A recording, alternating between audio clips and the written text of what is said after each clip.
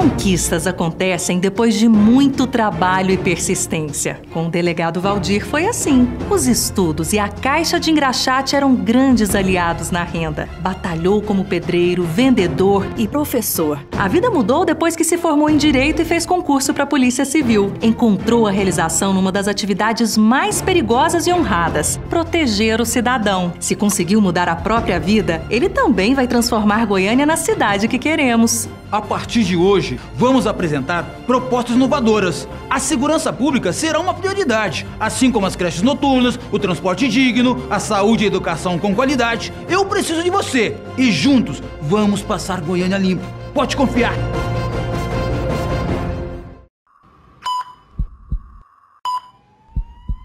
Aqui em Goiânia a assistência de saúde está precária. Você chega às 7 horas da manhã, você sai 3 horas da tarde. Eles atendem só três pessoas por dia, tem que madrugar para poder conseguir. Depois de três horas, falo para você, não tem médico. Você passando mal e vai para casa. É, a gente é muito humilhado, o pobre é muito discriminado. Há muito tempo, a saúde em Goiânia não está de acordo com as necessidades de nossa população. Faltam médicos, o atendimento é precário, as unidades de saúde estão sempre lotadas, a espera por atendimento é longa. Para onde está indo o dinheiro dos impostos que a população paga? Eu vou mudar isso, com hospitais especializados, pediatra e ginecologista 24 horas nas unidades de saúde. Vamos passar Goiânia limpo. Pode confiar.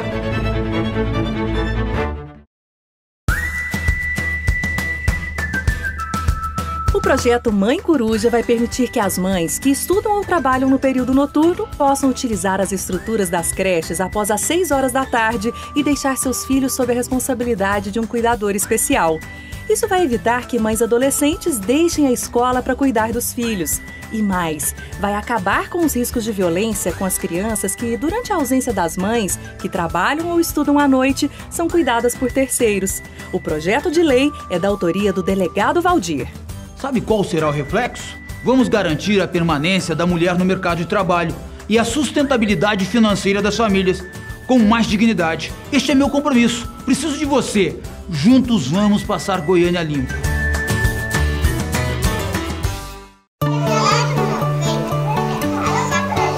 Criança sem educação é uma criança sem futuro. E sem futuro, ninguém faz história.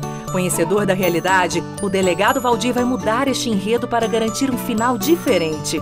A melhoria das escolas e CMEs, ampliação do número de vagas e o investimento em políticas que valorizem profissionais da educação são iniciativas do delegado Valdir para acabar com o analfabetismo e incentivar programas de acesso do aluno na escola. Assim, ele vai escrevendo um futuro melhor para muitas crianças.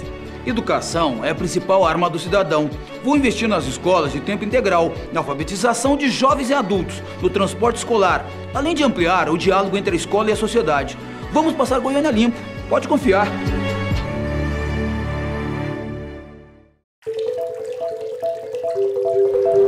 Apesar de ser uma das cidades mais arborizadas do país, Goiânia ainda enfrenta problemas ambientais graves.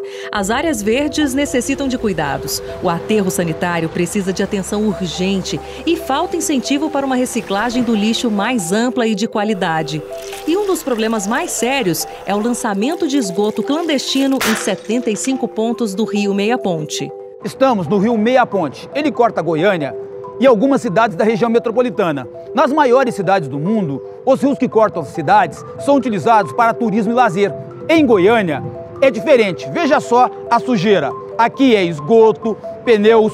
Precisamos mudar isso. Precisamos passar Goiânia limpo. Pode confiar.